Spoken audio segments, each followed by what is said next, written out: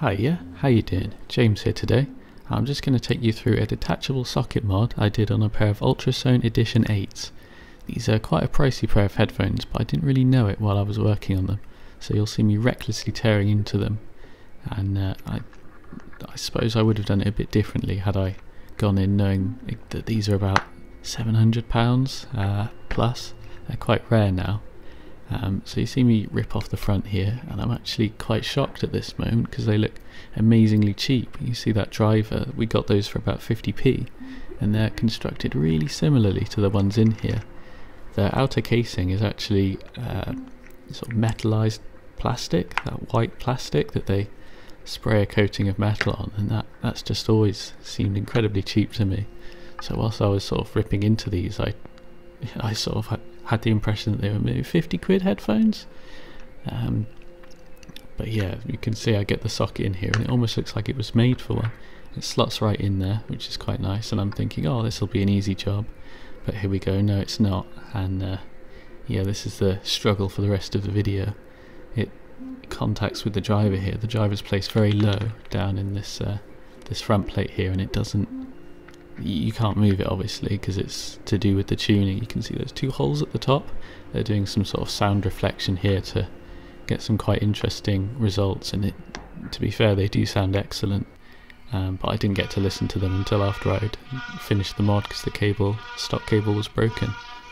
So as much as they look like they're ready to accept a socket right away, here I am having to drill right into them. Uh, it's yeah, you can really see the white plastic here, and it feels all nasty and cheap and horrible. And uh, yeah, it grinds away. It's quite a thick outer metal coating, but yeah, it just doesn't, it's not great. Remove the burrs there, see if the socket will fit.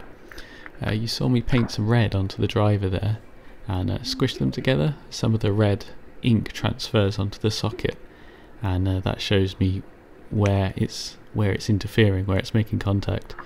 So I, th I think I'm clever here and I uh, chop away a little bit of the socket and I think, yeah, there we go, it pops right in. And I'm thinking, oh, brilliant, yeah, look at that. Smug little thumbs up I give the camera. Um, so I think, oh, I'll just test these, give it a go, and pop, there we go. Half of the assembly comes right out the back, so that socket's useless now, I've broken that.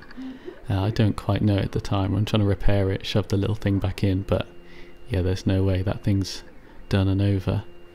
Um, yeah, you can see me sort of floundering about here. I'm back to step one.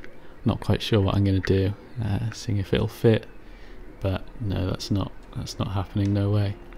Um, so whilst I faff around with this, I suddenly found where all the money went, and it's here. It's into this little hinge bit, which is just gorgeous. Look at that. A perfectly machined, lovely bit of engineering. Uh, that that down bit, that's one single piece, that logoed part, that's a continuation. So that's one fairly large bit of aluminium that they've just had to sort of chop away at, CNC that. It's, it's curved, it's like nice surface finish. That's a, oh, that's a ridiculously expensive part to make. And I feel like that could have been done a lot cheaper, but they, they chose to make it as nice as it is. And then they, they cheaped out on the bits that matter. So it really is quite a strange headphone, but it does sound great. So I've gone for a second round with the ink here, and uh, it is working a bit better. I'm just I'm just going to nibble away at it this time instead of taking a whole chunk out the side.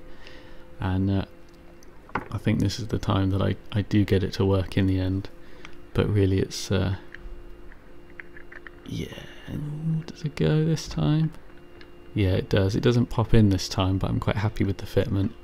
And uh, yeah, you can see I've had to have moved it quite far down. I've hogged out a fair bit of that plastic with the Dremel there. And there we go, there's it all glued in and wired up and ready to accept the uh, the faceplates back on. And here they are all ready to go. I always thought that little uh, piece of felt that they've got there reminded me of the Wu-Tang Clan logo the whole time I was working on it. Yes, there we go. I'm whipping off the original, the original wires. That that's always a a tough bit because you can quite easily, uh, if you heat them up too much, then the original coil wires are broken, and there's there's nothing you can do after that. That's uh, that's the end of your 700 pound pair of headphones right there. So that's one side done. I'm just going to move on to the other side, soldering those wires on, get it all connected on the inside. um, pop it all back together. These these went together alright after I'd uh, done all the modification. Just screw the faceplates back on. There's three screws, and yeah, look at the handiwork. It's it's alright. Not not my best work, I suppose. Um, I just pop these felt pads back on, and then the, uh, the this didn't really work. I ended up having to go back and uh, put some tape on to probably hold these on. But for now, yeah, there we go. There's the tape on them and that's them all done. So I hope that was interesting to watch. It wasn't too difficult of a mod. Um, it was a bit of a faff to get them in, but uh, otherwise it wasn't. They, they come apart all right. Uh, so I hope that was interesting, and thanks for watching. See you next time.